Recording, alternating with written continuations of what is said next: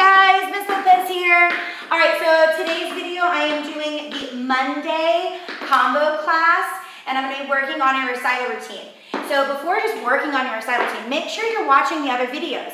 Make sure you're doing a ballet warm-up. Make sure you're doing a tap warm-up. There's also lots of videos on um, cute little sing-song dances and stuff that we usually do in class. Do those as well. Um, you have access to all the other classes online as well. So combo, usually after combo, once they're seven, they can take beginning ballet, beginning tap, beginning jazz. Um, five and six year olds can take combo and can take acro.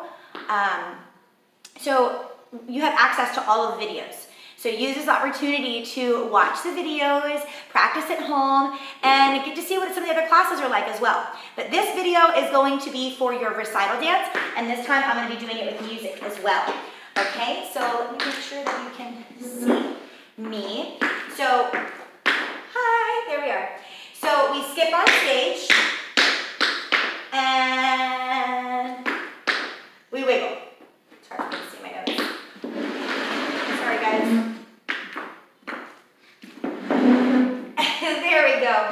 Um, so you're going your toe out and in and out and in and out and in and out and in. What goes up and up and up and up and a lollipop.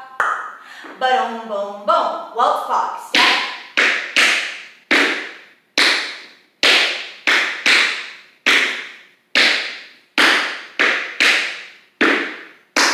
Step and bring it up. Three step turn. One, two, three, heel. Switch your hands. One, two, three, heel. Down, up, down, up, tip, heel, toe, turn. Two paradiddles.